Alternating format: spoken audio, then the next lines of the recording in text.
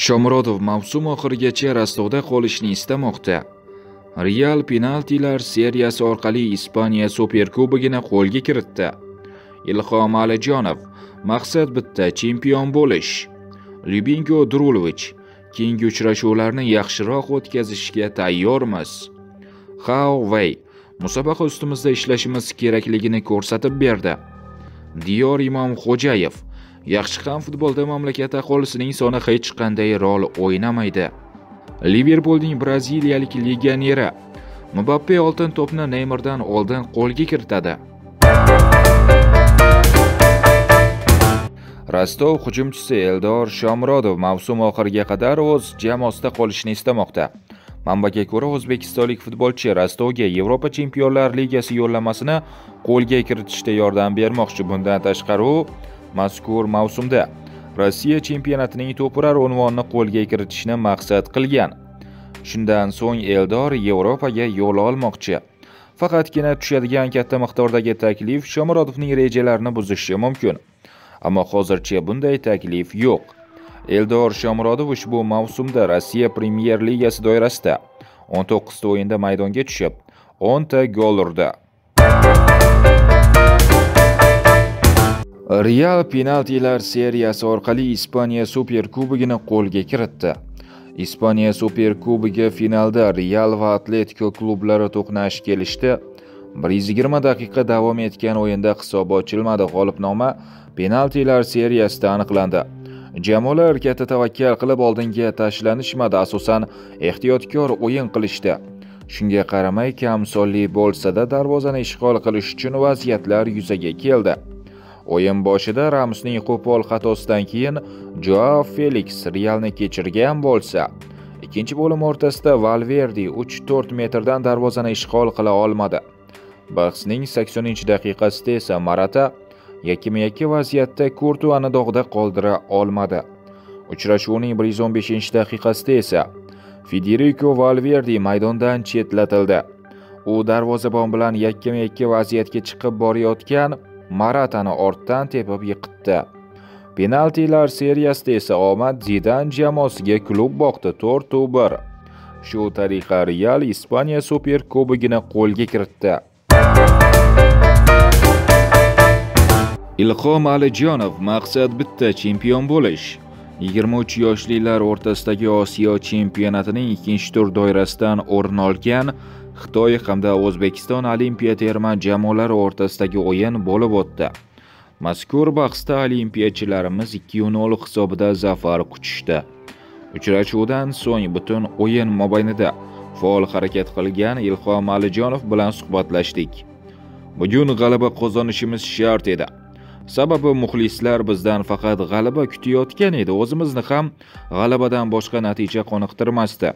Eronga qarshi o'yinda o'yinimiz o'xshamadi sekin sekin o'z o'yinimizni topib bormoqdamiz. Janubiy koreyaga qarshi o'yinda ham g'alaba qozonib muxlislarimizni xursand qilamiz. Oldimizga olimpiada yo'llanmasini qo'lga kiritishni maqsad qilib qo'yganmiz va bu maqsad yo'lda jonimizni berishga ham tayyormiz. Qolaversa biz amaldagi chempionmiz. Sovrinni o'zimizda qolishini xohlaymiz. Uzoq masofadan kelib bizni stadiondan qo'llab quvvatlab turgan shuningdek oynayi jahon orqali bizga muxlislik qilayotgan barchaga katta rahmat aytib qolaman deydi futbolchi. Lyubinko drulovich keyingi uchrashuvlarni yaxshiroq o'tkazishga tayyormiz. Yakunlangan o'zbekiston va xitoy olimpiya terma jamoalari bahsidan so'ng an'anaga muvofiq. Ikki jamoa murabbiylari ishtirokida matbuot anjumani tashkil etildi. Matbuot anjumanining ikkinchi qismida lyubinko drulovich ishtirok etdi va savollarga javob berdi. Biz ko'p vaziyatlarni qo'ldan chiqardik shu sababli birinchi gol juda muhim edi.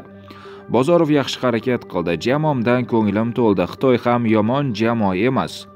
Tabrik uchun rahmat. Eron bilan o'yindan keyin tiklanishimiz muhim edi. Biz uchun shu uch ochko hal qiluvchi ahamiyat kasb etardi. Futbolda emotsiyalar katta rol o'ynaydi. Biz ularni vaqtida tiya oldik. Vazifalar bajarildi. Endigi maqsad koreya bilan o'yinga tayyorgarlik.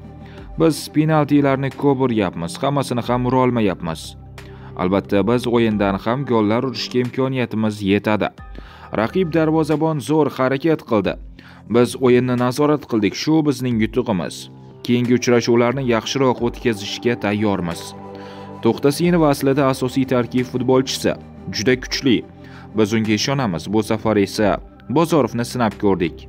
U mobillikda kuchli katta hajmda ish bajardi va charchadi. Ikkalasidan ko'nglim to'q rahmat hammaga.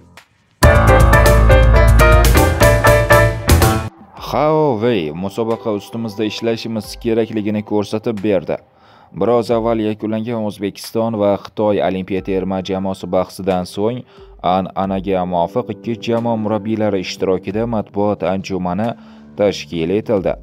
Dastlab anjumanga xitoyliklar murabbiyi hao Wei tashrif buyurdi va o'yin haqida o'z taassurotlarini bildirib o'tdi. Bizning raqibimiz chiroyli o'yin namoyish etdi. Birinchi o'yindan keyin tarkibda yo'qotish bo'lgan edi.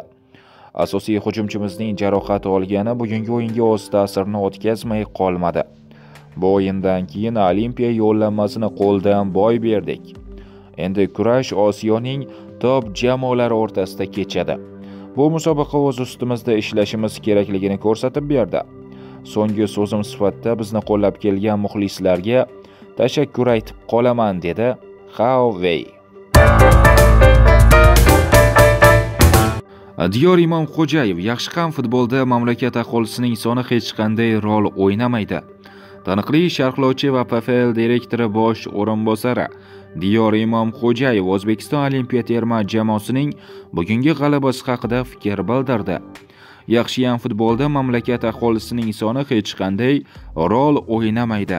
Shuning uchun ham yunusobodchalik aholisi bor islandiya 11 yaxshi futbolchi topa oladi. Shuning uchun ham futbolchilarimiz xitoydan yaxshiroq o'ynashadi. Xitoy futbolga bizdagidan 20 marta ko'proq pul sarflaydi. Ammo hamma gap pulda emas bunga yorqin misol braziliya termasi.